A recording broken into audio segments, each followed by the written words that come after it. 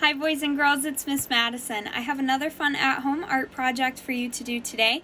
So we're going to be doing a spin on a classic project that you've probably done before, but we're going to add a little bit of flair to it. So here's what we're going to be making.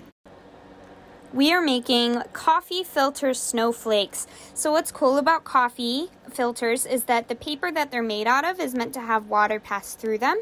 So when we add the color to the coffee filter and paint over it with water, it creates this really pretty watercolor look to it. So let me show you what supplies you're going to need for this.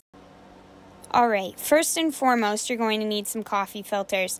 You can see mine already have some blue stains on them from being on the table with my examples, but yours will be nice and white and plain and ready for your creativity. Next, you're going to need some markers. I chose blue markers because I like how icy they look, and my Christmas tree is blue, so they match. Um, you can do colors to match your holiday decorations. You can do the colors of the northern lights, red and green for Christmas, whatever you want. Next, you're going to need scissors for cutting out your snowflakes. You'll need a jar of water, a clean water, and a nice soft paintbrush. You don't want anything too hard because you can rip through the coffee filter that way. And last but not least, you'll need an old rag or some paper towels because what happens is when you put the water on the coffee filter, the marker bleeds and it will stain your table, your floor, whatever you're using. So make sure you have some sort of protection to go underneath your coffee filters. And let's get started. All right, so you're going to begin by coloring on your coffee filter. I've already added some light blue onto mine. You can see I've done just some random coloring. I've done some dots.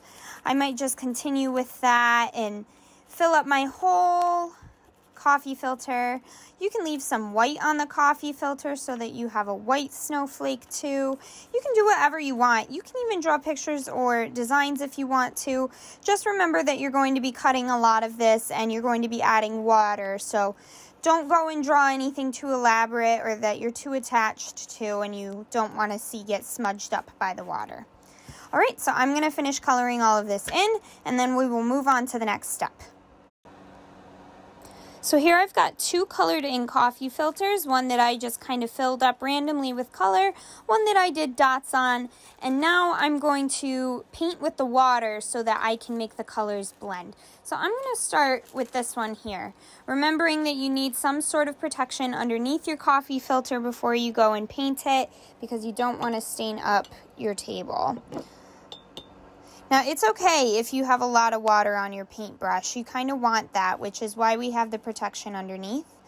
And then you just really, you can drip it on there, you can work it on there. You might see some of your lines from your markers. That's okay. You're not going to notice that so much after you start cutting it out. See, you can see where it really starts to blend out and you lose some of that those marker lines. And then once you have got your whole snowflake painted, you just let it dry. All right. Time to let it dry. All right, so now you have your dry coffee filter and look at how pretty those colors came out. I'm really happy with it. So what you're gonna do next is you're going to fold it in half, like you fold a taco, like that. And then you're gonna fold it in half again. Again. Every time making sure that you're folding it nice and evenly. Okay, like a little pizza. And then you're going to fold it one more time. So that it looks like this, all right? And this is where you start cutting out your snowflake. Now you can cut on the top, you can cut on both of the sides, you can cut off the little tip and that'll give you an open center to your snowflake. So I'm going to do one where I make the, I'm going to cut from the top because that gives you a really cool looking pattern for your snowflake and it makes it less circular and more pointed on the ends. So I've done that. maybe I'll do something like this. Maybe I'll add some circles. Remember, half circles. And you don't want to cut too far so that you cut your snowflake in half. You don't want to do that. Remember to keep all of this middle part, you know, don't make any of these lines touch like here or else you'll snip it in half. And be careful. You're working with a lot of layers of paper. You don't want to accidentally go cutting one layer but not another because then you'll have a lopsided snowflake.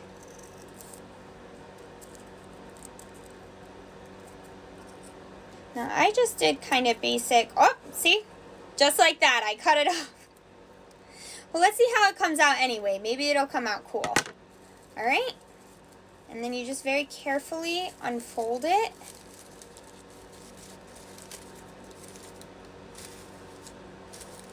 You know what? I'm happy with that. I think that came out cool. So maybe you do want to accidentally snip off the tip of your snowflake. So there you have it, guys. Our beautiful coffee filter watercolor snowflakes. And you can tape them to your windows like sun catchers. The sun will move through them. And then you'll see all the pretty colors through the sunlight. You can hang them with little strings. You can decorate your Christmas tree with them. Go to town, be creative, post pictures, and show us what you do with this project. I hope you guys liked it.